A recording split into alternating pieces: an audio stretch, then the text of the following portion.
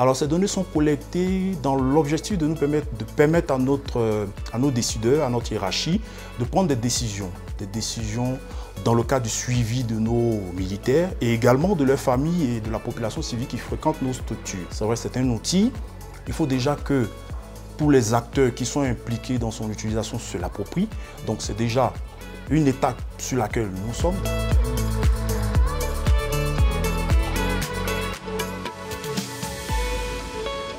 Bonjour à toute la communauté euh, francophone du DHS2. Je suis le docteur Yeboué Konan euh, de la Côte d'Ivoire. Je suis du ministère de la Défense, précisément de la direction euh, de la santé et de l'action sociale au niveau des armées. Et je suis le chef du service de gestion de l'information sanitaire au niveau de, ce ministère. Alors, en Côte d'Ivoire, le ministère d'État, ministère de la Défense utilise le DHS2 comme outil de système d'information de routine pour la collecte des données de routine, mais également pour la gestion des activités euh, des programmes de santé. Alors en Côte d'Ivoire, nous utilisons, surtout au niveau du ministère de, la, Défense, nous utilisons le DHS2 dans le cadre du programme de VIH, dans le cadre également de d'autres programmes de santé, euh, comme le paludisme, comme euh, le diabète, et également pour la surveillance de la santé des militaires. Alors les fonctionnalités de la plateforme DHS2 que nous utilisons au niveau du ministère d'État, ministère de la Défense, euh, nous avons la saisie des données, le tracker, le rapport d'événements, le visualiseur de données, euh, la maintenance, également le dashboard, le tableau de bord.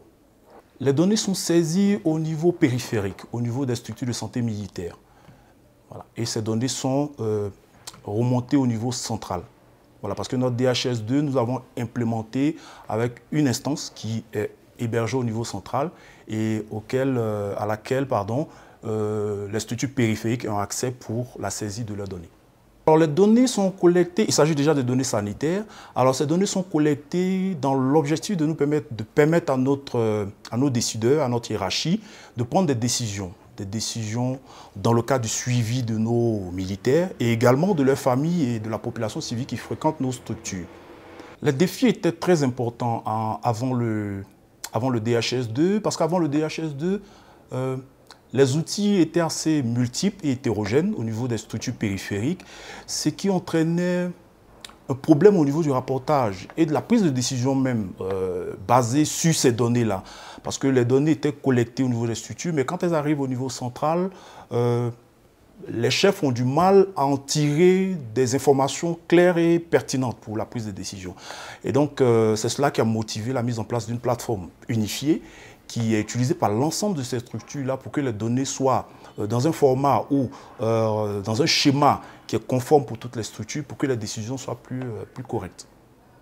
L'impact, il est assez intéressant et assez important parce que euh, après la mise en place du DHS2, les données qui sont remontées nous ont permis de constater par exemple un taux de prévalence au niveau de la population militaire, et même la population civile qui fréquente nos structures, une prévalence qui était assez importante, qu'on ignorait, euh, des IST.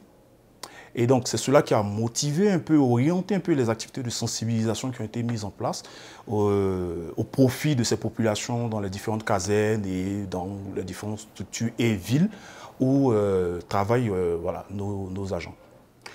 je dirais les prochaines étapes déjà pour nous, c'est d'optimiser cette plateforme qui a été mise en place. C'est vrai, c'est un outil. Il faut déjà que tous les acteurs qui sont impliqués dans son utilisation se l'approprient. Donc c'est déjà une étape sur laquelle nous sommes, déjà l'optimiser et puis euh, améliorer l'implication de tous euh, les acteurs de cette plateforme. Et aussi, dans le cadre de toutes nos activités, pouvoir assurer aujourd'hui euh, l'interopérabilité de cette plateforme avec d'autres plateformes de collecte de données, comme les données de laboratoire, également les données de la chaîne logistique, pharmacie et autres.